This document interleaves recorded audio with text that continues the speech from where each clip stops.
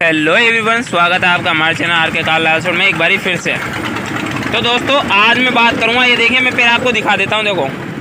पहले मैं आपको एक चीज़ दिखा देता हूँ। स्टेयरिंग के बारे में बात करूँगा वैसे। ये देखिए, इसके ऊपर जेक चढ़ा रखा है और गाड़ी अद्दर कर रखी है, बिल्कुल। दोनों टायर इसके अद्दर हैं। और मैं इसमें प्रॉब्लम आपको बताना चाहता हूँ, ये देखिए, अपन जैसे स्टेयरिंग काटते हैं, ये देखिए, कहीं पर टाइट और जबकि दोनों टायर फ्री है, इस टाइम पे स्टेयरिंग ऐसी कटनी चाहिए, पानी की तरह, बिल्कुल। लेकिन इसमें ये देखिए, ये कहीं पर टाइट और ये देखिए कहीं पर जाम, ये देखिए ये देखिए कहीं पर फ्री और कहीं पर जाम, ये देखिए कहीं पर फ्री अगर अपन हत्ती से काटना चाहें तो एक कट्टी नहीं रही ये देखिए, काफ़ी ज़्यादा टाइट हो गई अभी ये देखिए। अगर एक उंगली से काटना चाहे तो ये देखिए नहीं कट रही, बिल्कुल भी जाम हो गई ये देखिए इस जगह पर। अब अगर ऐसी पोजीशन आपकी गाड़ी में आती है ना तो मैं बताता हूँ आपको करना क्या है। काफ़ी छोटा प्रोसेस है और आप खुद कर सकते हैं, बिना किसी मैकेनिक के अपनी गाड़ी की स्टेयरिंग बिल्कुल पानी की तरह कर सकते हैं आप। चाहे आप जेक मत लगाना, बिना जेक लगाए भी कर सकते हैं। ये जो मैंने जेक लगा रखा है ना, ये देखिए, ऐसा लगाने की ज़रूरत नहीं है। देखिए, दोनों टायर अद्दर कर रखे हैं, वो हल्का सा टिका हुआ है, बीच में ये सिंगल जेक लगा रखा है, ये देखिए। हल्का सा गाड़ी वेट डालते उधर का टायर भी अद्दर हो जाएगा, ये देखिए।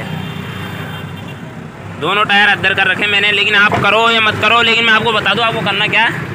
इस तरीके से बोनट खोलना है। देखिए, जैसे मैंने इसका बोनट खोल रखा है, और आपको मैं बता दूँ, आपको एक बंदे को लेना है, और मैं बताता हूँ आपको करना क्या है। पूरा प्रोसेस बताऊँगा इसमें पूरा। तो चलो देखो, मैं दिखा देता हूँ करते क्या है। तो दोस्तों देखिए, इस तरीके की एक बोतल लेनी है है ना? एक मिनट, ले मोबाइल पकड़ना एक सेकंड। देखो, इस तरीके की बोतल लेनी है, और जैसे कि मेरे पास ये डीजल है दोस्तों। आप डीजल आराम से लें, पेट्रोल भी ले सकते हैं आप जैसे मैं डीजल ले रहा हूँ ना? और ये देखिए, थोड़ा बहुत डीजल ले लेता हूँ इसमें। ये देखिए, इसमें ये डीजल ले लिया मैंने। अब छोटा सा प्रोसेस बस। ज़्यादा कुछ भी बड़ा नहीं है, काफ़ी छोटा है, और आप खुद घर पर कर सकते हैं आराम से यूजली तो देखिए दोस्तों, एक बोतल के ऊपर ऊपर छेद कर लिया एक। आपकी स्टेयरिंग ऐसी हो जाएगी बिल्कुल फ्री अगर एसी जाम होने की वजह से अगर कोई भी मैकेनिक आपको ये बोले ना, भाई स्टेयरिंग खत्म है आपकी। तो देखिए मैं दिखाता हूँ। चलो जी, बाहर जाता हूँ मैं गाड़ी के पास मैंने वीडियो ज़्यादा लंबी हो जाएगी। तो दोस्तों, ये देखिए मैं डीजल की भरी हुई बोतल लिया है। अब इसमें देखिए हमने ये छेद कर लिया तो ये धार बन रही है है ना? अब इस पोजीशन में मैकेनिक बताऊँ क्या करते हैं दोस्तों? मैं बता देता हूँ आपको। मैकेनिक आपसे यूँ बोलेंगे, भैया, आपकी स्टेयरिंग डलेगी और करीबन चार हज़ार के आसपास इसकी स्टेयरिंग आती है एम की ओरिजिनल तो चार हज़ार की तो स्टेयरिंग डाल देंगे, आराम डाल देंगे। ये सब डाल देंगे और आपको करीबन, मैं बता रहा हूँ, आपको आइडिया से करीबन आपसे सात आठ हज़ार रुपये ले लेंगे और आपको पूरा सस्पेंसन का सामान डाल देंगे। और फिर भी मान लीजिए, अगर वो लास्ट में करने कंप्लीट करने के बाद में भी अगर उनको टाइट लगेंगे तो फिर लास्ट में वो छोटा सा प्रोसेस करके उस बीमारी को दूर करेंगे। जबकि आपको पहले ये करके देखना है, मैं बताता हूँ, देखो। जैसे एक बंदे को आपको स्टेयरिंग घुमाने के लिए रख लेना है, जैसे देखो, मैं दिखाता हूँ आपको। हाँ जी स्टेयरिंग घुमाओ। अब जैसे ही ये स्टेयरिंग घुमा रहे हैं तो उस वक्त आपको यहाँ पर डीजल डालते रहना है, बस। हाँ जी, घुमाते रहो। बस इस ये जॉइंट है ना इसका। इस पर डीजल डालते रहना है बस। हाँ जी, घुमाते रहो।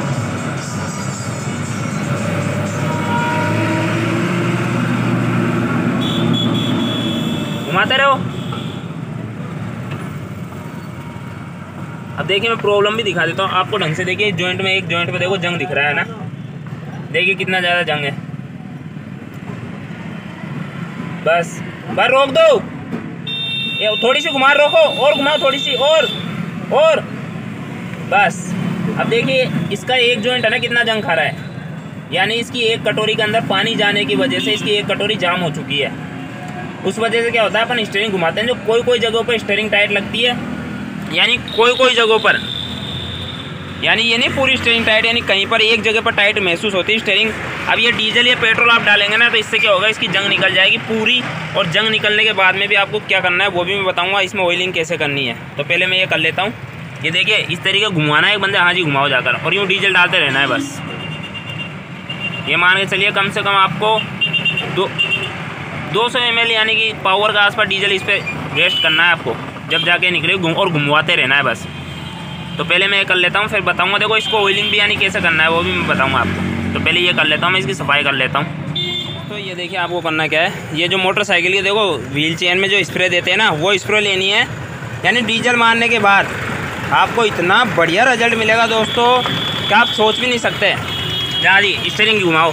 ये डीजल ये स्प्रे लेनी है और इस तरीके से इसको घुमाना है किसी से भी, और ये स्प्रे मारनी है बस यूँ।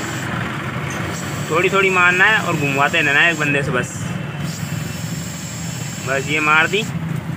अब ये क्या है, जैसे ही इसमें चल जाएगी ना अंदर ऑयल में। ऑयलिंग यानी अंदर तक चल जाएगी। बस हल्का फुल्का मारते रहना है और एक बंदे से घुमवाना है बस। ये थोड़ा बहुत मार दिया। अब ये बिल्कुल अंदर जाकर ऑयल किया, इसमें अंदर तक चल जाएगा, जिससे स्टेरिंग बिल्कुल फ्री हो जाएगी। ये देखिए कितनी फ्री हो चुकी देखो। ये देखो, पहले एक हाथ से नहीं घूम रही, इतना आप देखना ये घुमाएगा, देखना। घुमाओ भाई। देखो, सिर्फ़ हत्ती लगाकर इतने प्यार से घूम रही है दोस्तों।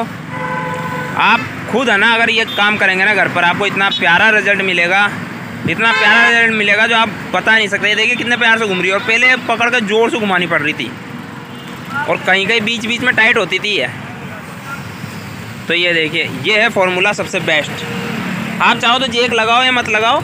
आप बिना जेक लगाए किसी बंदे से घुमवा लो, अंदर बिठा और इस तरीके से आपको डीजल मारना और ये चेन स्प्रे डालनी है, बस। ये छोटी सी चीज़। इससे आपकी गाड़ी में इतना फ़ायदा होगा, आपको इतना फ़ायदा होगा। आप खुद करके देखना दोस्तों एक बार। आपको अच्छा रिज़ल्ट मिलेगा। और मैं एक चीज़ और बताऊँ, देखो, बरसात जाने के बाद या फिर सर्दी जाने के बाद ही ये जाम होता है, क्योंकि इसमें धीरे धीरे सीम जाती है और जंग लगती है।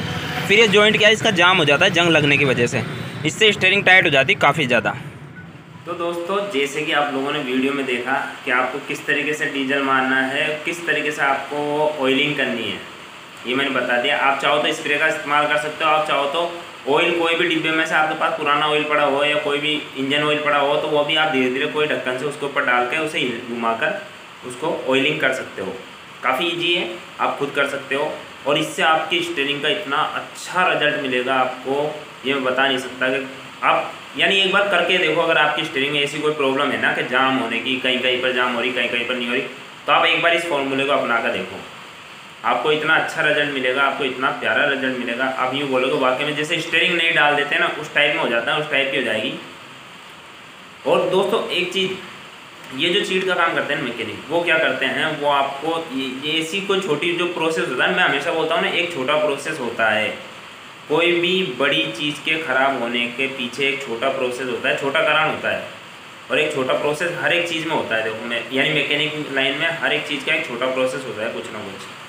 तो इसका छोटा प्रोसेस क्या, जो चीट का काम करते हैं, वो आपको बताएँगे नहीं ये चीज़। है वो आपको बल्कि में ऐसे यानी डरा देंगे कि भैया ये तो स्टेरिंग का मामला है, अचानक जाम हो जाएगी, चलती हुई गाड़ी, ये हो जाएगा, वो हो जाएगा, ऐसे डराते हैं मैकेनिक जो चीट का काम करते हैं ना वो। इस तरीके से डराएँगे कि भाई ये तो पूरा सस्पेंसर काम होगा इसमें आठ दस हज़ार का खर्चा है, ताकि उनके मोटा पैसा बने। क्या दोस्तों? और अगर मान लो आप गाड़ी छोड़ गए उसके बाद में आपने गाड़ी छोड़ दी और आप चले गए और आप उसके बाद में आप गाड़ी लेने जा रहे हो। तो शायद अगर वो चीट होगा चीटर होगा ना मैकेनिक जो ये मान के चलिए, सिर्फ़ पैसों का भूखा, वो बंदा आपके साथ और भी ज़्यादा कुछ चीट कर सकता है। जैसे मान लो सामान कुछ नहीं डालेगा, यही फॉर्मूला करके आपकी स्टेन नरम कर देगा और आपको बोल देगा, भैया, मैंने इसमें काफ़ी कुछ किया है धुलाई वुलाई करा देगा। यानी धुलाई वुलाई बढ़िया करा के ऐसा काम भी होता है आजकल मैकेनिक लाइन में। धुलाई वुलाई करा के दे देंगे, कह देंगे, सर, हमने कर दी स्टेरिंग रिपेयर कर दी, वो भी कर दिया।